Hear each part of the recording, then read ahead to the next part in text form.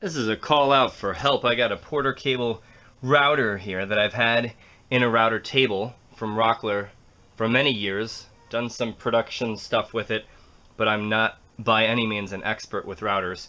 Um, the issue is I've never done any lubrication or anything on the inside where I might make a height adjustment.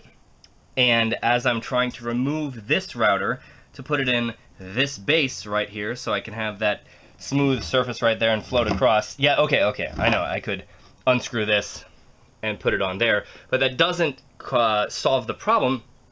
I can't even get a full range of adjustment here. So the router's side has a pin or two that fit in this groove and uh, is supposed to spin around until it finally gets free right here. I ought to be able to pop out the router from the base and put it into some other base, like a plunge base if I wanted one. I don't know. I don't have one, but I can't get it out. Okay, so here's my plan. I'm gonna take this guy and show you the range that I have. I can go to there, and it's grindy grindy, like aluminum on packed wood grindy. And I can get to right there. That's it. And I can't go out. And then I can get it, I don't know, maybe a turn back the other direction. I think I started pretty much right where I can start from. It's rough. It doesn't sound good and as I'm peeking in here, peeking in right at that joint right there, I see some smashed wood. Even on this other one, the wood's kind of grimy, gummy in here like somebody had put some oil in there. So I don't want to put anything in there yet because I just don't know what ought to be in there and uh, how I could free this stuck piece. So, um, WD-40, 3-in-1, liquid wrench. What would you do? Woo!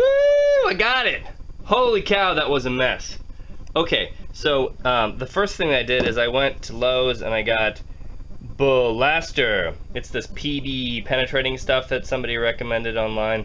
And uh, I just squirted the whole thing with it. it comes out kind of gooey. Um, yesterday, I tried this uh, 1830s liquid wrench. Look at that sucker. They did not have the internet back then.